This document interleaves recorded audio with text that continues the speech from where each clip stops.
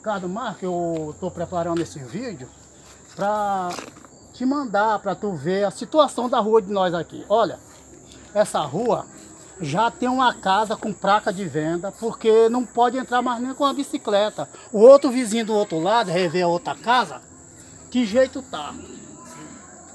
Aqui nós estamos sofrendo muito, porque essa rua nós precisamos muito dela. Ela era calçada, essa rua. Essa rua era calçada. Mas aí, com o inverno do ano atrasado, começou, começou a demolir isso aqui, ó.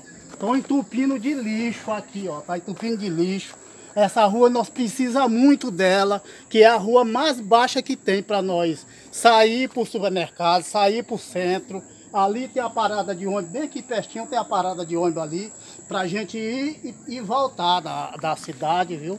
Nós estamos sofrendo muito aqui por essa rua, rapaz. Aqui para andar com carro é o, é o lugar mais fácil, de moto é o, o, lugar mais, é o lado mais fácil, a pés, para qualquer outra pessoa, o lugar mais fácil de bicicleta. Aqui se sobe bem facinho. É o lugar mais fácil que tem para nós chegar aqui nas casas de nós e ver o sofrimento dessa rua aqui.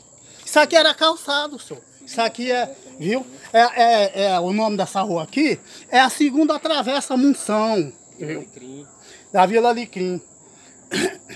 Você quer vir falar com, ou mandar o, esse povo da prefeitura, que são responsáveis por esse serviço, vir falar que esse cidadão bem aqui dessa casa, essa casa aqui, o Abraão, o Abraão bem aqui, venha falar com ele, viu? Para ele ver para o chefe de lá e ver a situação, como nós estamos sofrendo aqui.